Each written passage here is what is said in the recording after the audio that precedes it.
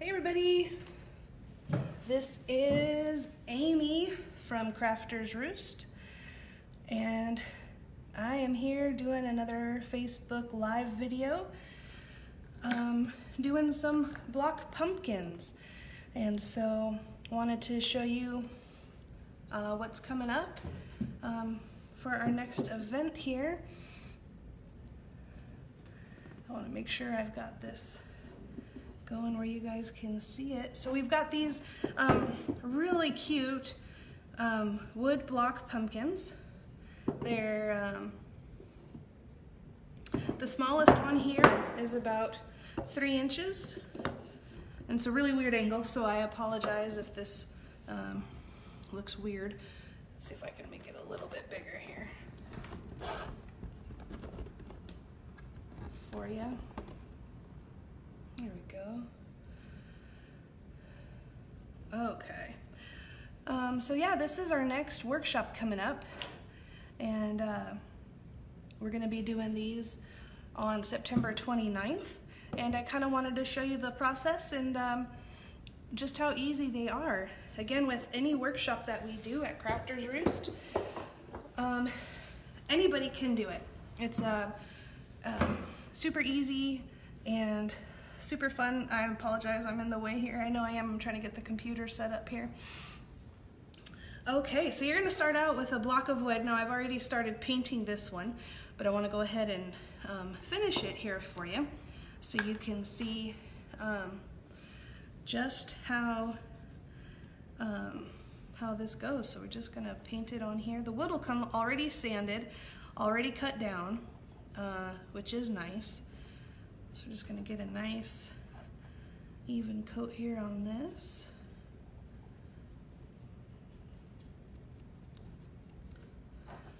And if anybody's here, please let me know. Ask any questions that you have or just pop on and say hi. Um,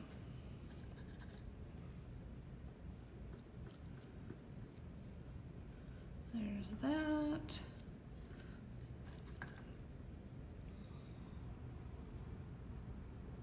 And this is all just uh, craft paint. Um, I use the, the Deco Art.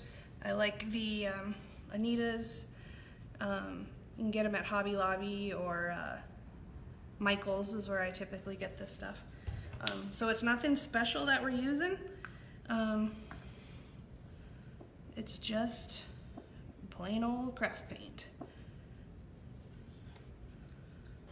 I'm getting a nice coverage here on top. This is a little bit more porous, so it takes just a little bit more work to get it into the all the the divots in there. But you can see that's pretty good coverage there. All right, so once you get this um, part done, you're gonna have a block. Uh, you'll have three of them. It comes with uh, the three, so it's gonna look like this. You've got all your coverage here. And so um, to get the stripes that we want for um, for a thing, I, we use masking tape and we actually just mask it off here. So that's what I'm gonna do now. Just got some um, blue painter's tape. I'm gonna get a nice spot here and I like to try to uh, match it up, make it as even as I can here.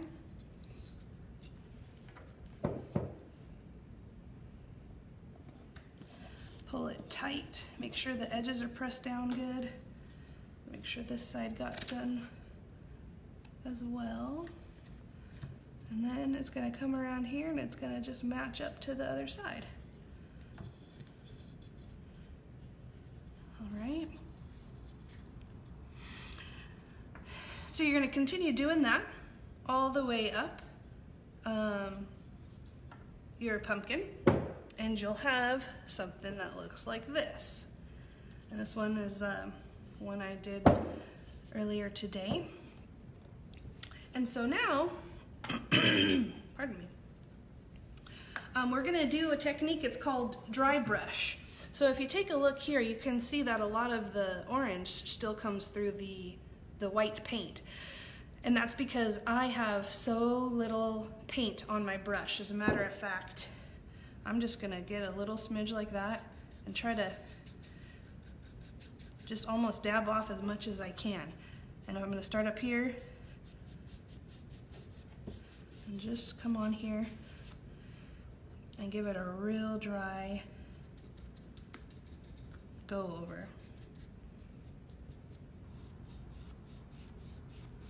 Just like this.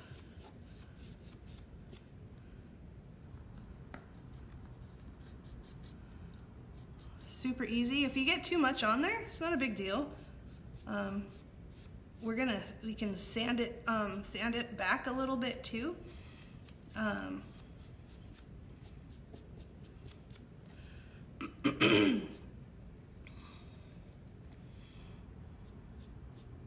just dry brushing this on here.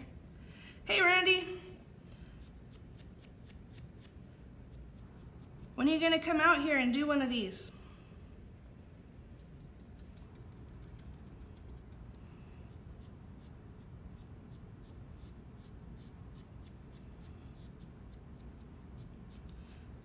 just dry brush that on. Want a little bit more up here. Go all the way around here.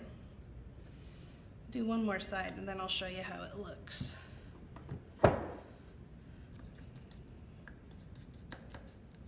Arizona is very hot.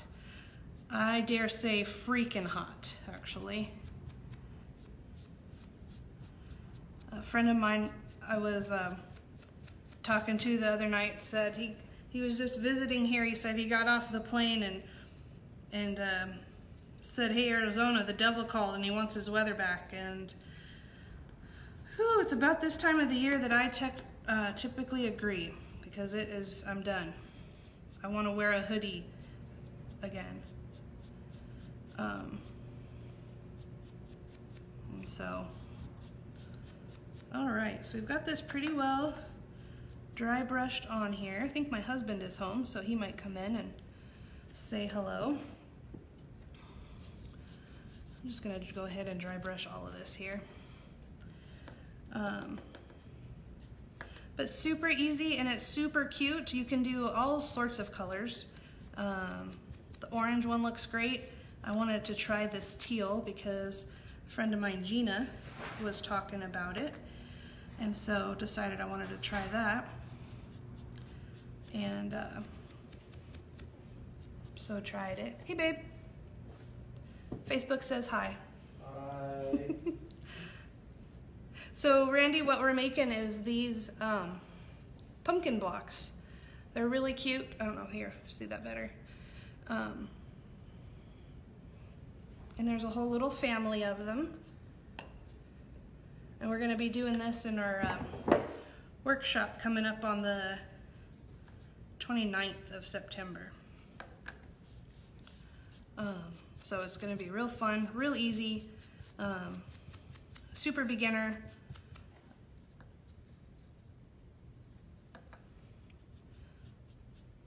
And if you don't come to the workshop, you can figure out how to do it and just do it here on your own. It's really easy. Um, this is just um, three by three wood that I got from the the home store. Um, I think it's used for like fence posts, and I just cut it down into into little slices and um, no rhyme or reason really to the sizes. Um, okay, so now I've got this dry brush done. You can go ahead and pull off our tape. Maybe if I can find my edge here.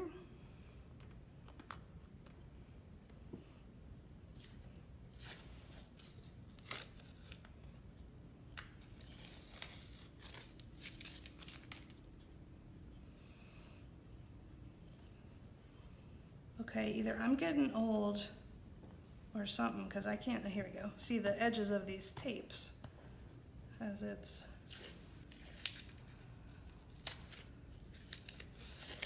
coming off here.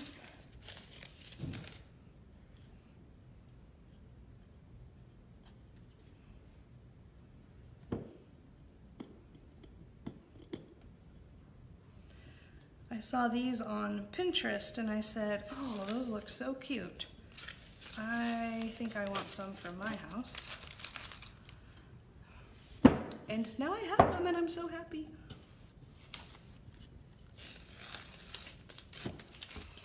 All right. So there is our pumpkin. And um, one thing I do like to do at the very end is get just a smidge more paint and just kind of dry brush up and down this whole thing. Just to give it a little bit more of an aged look. Um, and it also kind of brings out this uh, wood grain that's under here. Just a little bit. Give it a nice little distressed look here. But as you can see, I'm just dipping, just kind of brushing almost all of that paint away um, when I go to dry brush it here.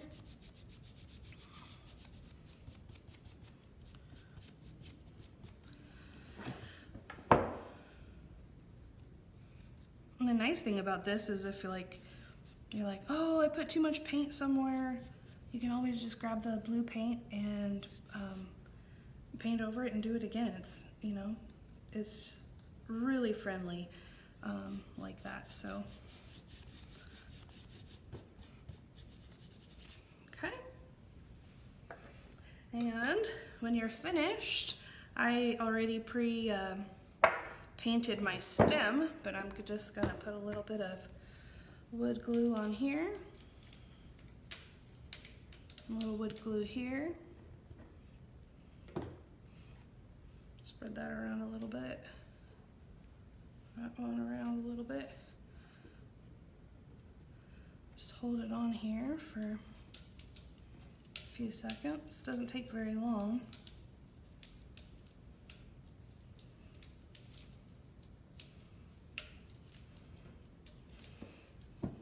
there you go. I mean, it's pretty cute. You can tie any sort of little ribbon around it that you like. This was just some green jute that I had laying around. Um, but you can finish it off any way. You could use in some ribbon.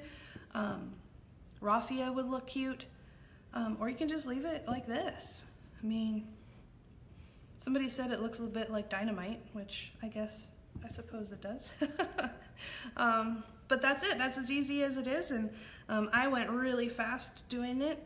Uh, you could take your time a little bit more. So if you are interested in doing that, again, this is going to be September 29th. Um,